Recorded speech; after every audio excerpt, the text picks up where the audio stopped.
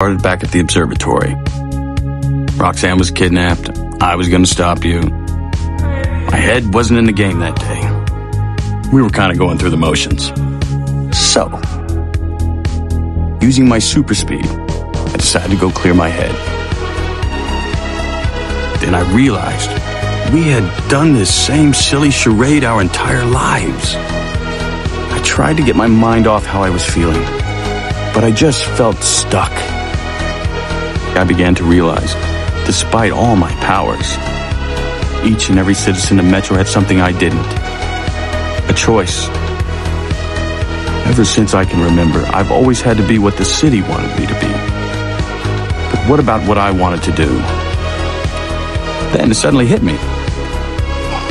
I do have a choice. I can be whatever I want to be. No one said this hero thing had to be a lifetime gig. Can't just quit either. That's when I got the brilliant idea to fake my death.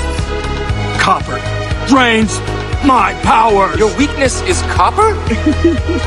Once your death ray hit, I've never felt so alive. So I borrowed a prop from a nearby nursing school. Metro Man was finally